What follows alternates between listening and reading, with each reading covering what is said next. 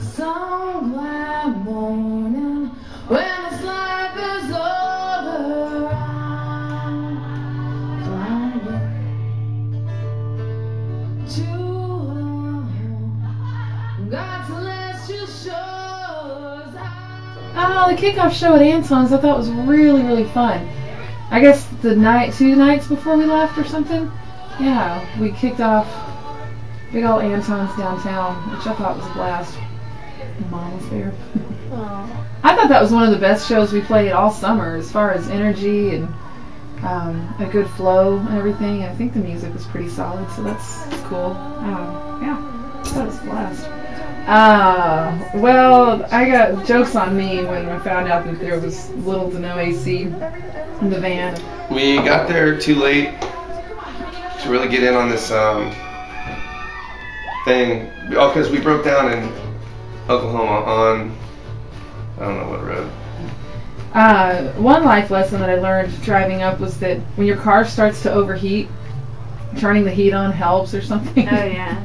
So, where were we? Ardmore, Oklahoma, when the van overheated. So all of a sudden, she and Mandy goes, "Hey guys, my foot just got really hot, and I think it has been for a while." and we pull over. Quinn and I got out of the car, and it, it was exactly what happens in every other breakdown. Like, Quinn, Quinn and Charlie get out of the car, and Mandy and Cass sit in the car laughing and telling jokes. As if it wasn't 110 degrees in there anyway. I was already laying in a puddle of my own sweat. So, um, first bad thing was Charlie took his shirt off. But and then it took us from where we were 45 minutes to find a gas station. Like after we let the car cool down, basically it overheated, and uh, so we had to go get some Prestone and some extra water to have on hand. And uh, we found Paul's place on the GPS, and Paul's place apparently was not where it said it was going to be, but we ended up finding it like 10 minutes later. And we went in, and the guy behind the counter was definitely 107 years old. If you don't, I'll just be incredibly sad. I, I would have liked to have spent more time in Oklahoma City. It seemed like it could have been a really cool city, um, but we were there not very long uh, because of the overheating issue. And so anyway, yeah, we just stopped in at this open blues jam. It was kind of the only thing going on on a Monday. I believe it was a Monday, and um, so we went in there and kind of realized it's this blues jam, and you know it's a jam, so it's not an open mic. And Charlie somehow finagled the guy to get me up on stage because I used to play in blues bands a lot, and uh, if I had a dollar for every time I sang "Born Under Bad Sign," I wouldn't have any money problems for the rest of time. you know, and uh, it was great. I had, you know, it was a lot of fun to be able to express that side of me that I don't necessarily always get to express. Um, she's usually too loud and whiskey drunk for public, so I tucked away in the back. and uh, anyway, but it, it was a good time. And um, Mandy's sister's house was beautiful, and Mandy's sister is awesome. Ashley was a lot of fun. Um, My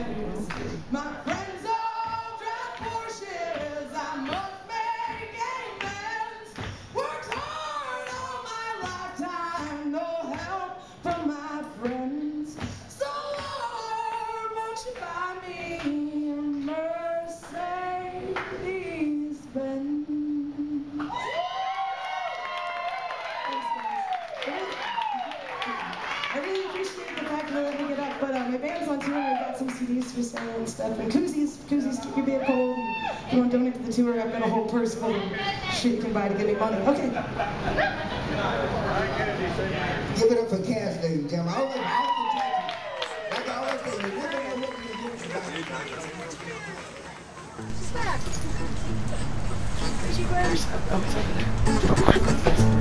How do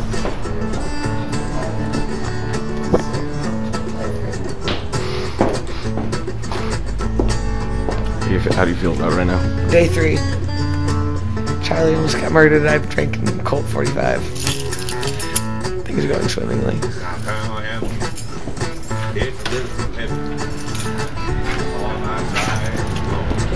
I feel like I spent my whole freaking summer in Kansas City. I loved it. I thought it was a very pleasant surprise. Um, one surprising part is that it's actually not so much in Kansas. I don't think any of us knew that before we got there.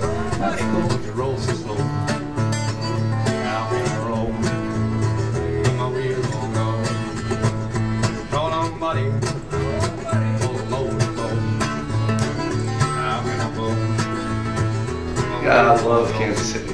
The people we met, we met, we were there for three days or so, so we met a lot more people.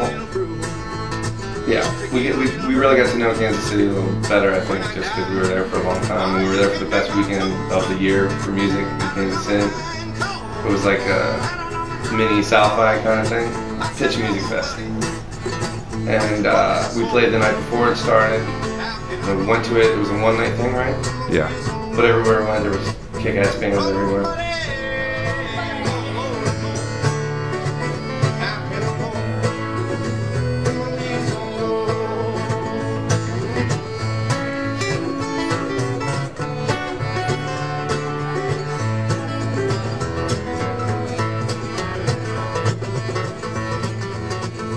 We played on the street in, uh, in front of um, Garnet's place, an art gallery. Was like an open art thing. Yeah, I thought that was really fun. Um, just meeting people out on the streets and mingling. Uh, I know a guy named Bob Rowden through Facebook who lives near Kansas City that came out to see us for a couple of shows. That was cool. We're not related, but it was fun meeting Rowdens. Um, no, it was beautiful. We had a great time. The shows were great.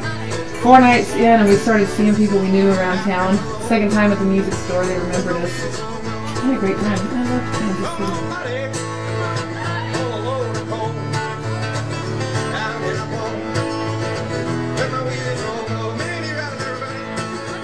We the, when we played in Marion, we were on a s like a bill with nothing but um, hardcore punkabilly bands, and we were me, this girl Cass, and this girl Mandy, sort of doing a song swap, but playing on each other's stuff. Pretty folky, nice, pretty you know country kind of stuff, and. Um, we everybody everybody in there was dressed in black and chains and we had we were that night we all happened to be wearing white so it was double like contrast and uh, we played and I think because we were so different from everything else that was going to be there that night people were like into it like they were like what the fuck you know and uh, I'm pretty sure Bob Brown is to blame for the uh, crash and burn that was the show Aftershock. Show was fine, but I think there was some crying in the parking lot. Mostly Quinn, and then later maybe me a little bit.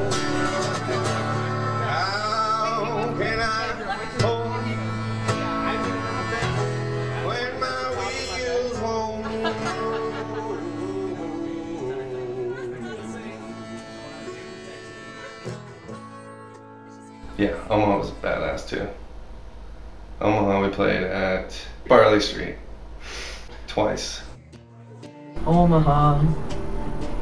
I love Omaha. In fact, the whole tour was just a mastermind plan to get me back to Omaha for a few days. Um, we played at the Barley Street, which is one of the better, maybe not better, but one of the more popular open mics uh, there. And we had a we had a great time. See on the show uh, I booked sort of a songwriter circle, and then uh, uh, after the songwriter circle, I got to play. I had a Family Gram reunion. Now Family Gram was my old band um, up there, and they're just some of my favorite people in the world, and so it was great to play with them at Barley Street. Oh man, I've had some times in that place. Some times. Was, it tour time included. Um, I remember a lot of dancing. I believe there was a lot of dancing. Um, my parents were there to see me drink whiskey and go go about my merry business of being a professional.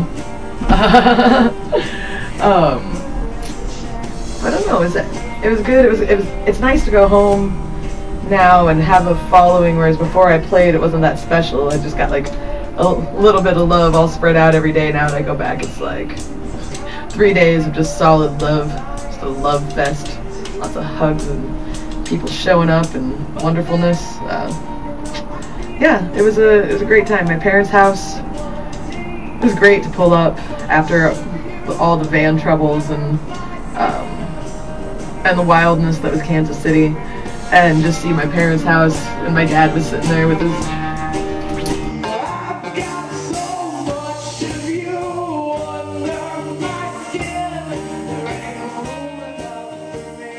Oh, while okay, while I'm in uh, Nebraska, um, Cass and okay, these three went into town to like go get breakfast or something. And I was just chilling at this farmhouse that Cass's friend was letting us use, and uh, so I'm there by myself in in a stranger's home, and um, he lives on a big farm, and there's a big dirt road that comes up to the house in the front and these, this white SUV pulls up really fast. Dukes and Hazards around the corner. Goes up, pulls up next to his uh, garage where he houses a bunch of cars and does a lot of work on, on cars and trucks in there. Like a huge, you know, farm steel structure. And uh, the guy pops out of the car and starts popping off rounds out of a gun into the cornfield. But still, you know, I have no idea who these guys are. But then the way they, when they pulled up to the thing and then they backed into a spot, that like told me that they were meant to be there. But I still didn't want to like come out of the house because I'm thinking this is the guy's cousin or somebody, his best friend growing up. And if he sees me in this guy's house and doesn't know I'm here, he's gonna start, you know. So that was kind of creepy it was exactly what I thought. It was like I think uh, Justin's cousin or his uh, at least his partner. This is what you can do when you're in in cornfield country. Like pop pop pop pop pop. Okay, it does. So don't walk around in cornfields. I was like, man, I don't even want him to see a shadow in here. I don't want to have to be like, no, no, no, Justin told me to get ah, ah. I sure do miss the view. you know, Mm-hmm. it's a good one. Um, spent some time hiding in a land beached boat earlier. Uh, Got some alone time. Uh, there's the boat. Um, spent some time standing on a motocross track hill.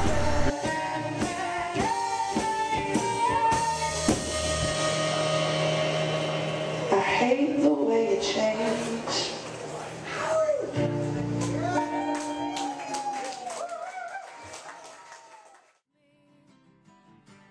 Oh yeah, the radio show in Lincoln that Cass forgot about. That was awesome.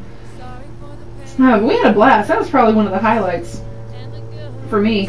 Was being on um, God, what's it called? X-rated was the name of the show, and uh, it was just super fun. The gal Hillary that hosted it just um, was so warm and friendly, even though we were late, like a bunch of dummies. Um, she was just super cool, and it's more just like having a conversation with an old friend, and we laughed and cried, and hilarity ensued, and it was just a, a really cool time. Did you know I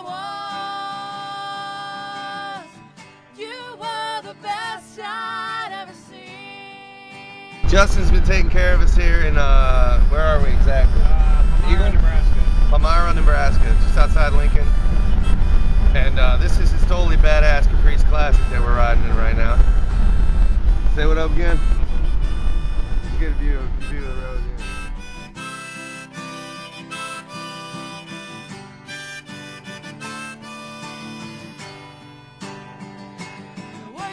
Zoo is gonna be fun. Miss Nebraska. It's it is the good life. They don't lie. Yeah, Lincoln was cool. We played Zoo Bar, which apparently was some legendary blues place back then. Back in Zoo Bar. Yeah, I think that was probably one of my favorites. I had some friends from Austin that were there that showed up, which oddly enough I never see them in Austin, but here they are, freaking Lincoln, Nebraska. They'll come to a show there. That was fun. All the time you need is past to rid me from your memory. I wonder how long it will be before you think of me. Good job, Cass. Good job, Mandy.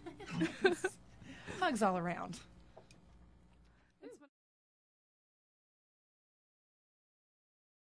Um, but yeah, we wrote a song that is cleverly named the tour song, unless someone's come up with something better since we talked last. Um, it's very literal. It talks about leaving Palmyra, Nebraska, and the rainstorm and the dogs that we hung out with. um, the Jesus signs on the. Cass just started a song in the car, which I think I said this later that day. I was like, if you ever like really want to write a song and you want to write it, you can't let any other songwriters hear it for like until it's completely done. Because everybody, so anybody, everybody in the car just started shooting in on it, and uh, so it became a four-person song. And uh,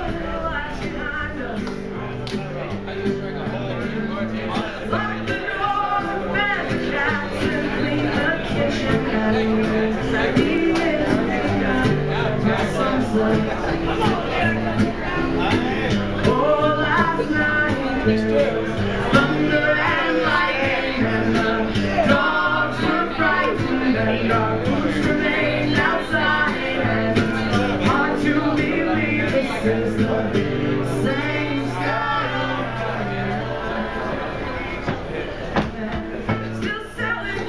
the last city we, we played in was Topeka, Oh, and we pulled into the wrong part of Topeka.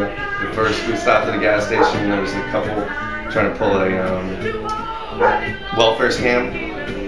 Right, like they were the first people we saw in the city. He was standing outside, mm, leaning like shirtless, and uh, she comes out. She's spindly, with a giant head, sunken eyes. So anyway, that was that ended up being pretty cool. Where what was the place we played? Movie Traveler. That's what it, I mean. That's what I mean. You walk into a, there's a a state there's a a blueprint for a dive bar that has great music, you know. And so like everywhere we would go, we played in, in you know I guess you know what I would imagine are some of the best spots in town in some of these places. And uh, they're the same. You know, that's it's going to be the same thing. You know, the bartender's going to be pretty cool, laid back. You know, um, they're going to be. Yeah, it's just that's pretty much universal. I feel like. Was something I do more of. Um,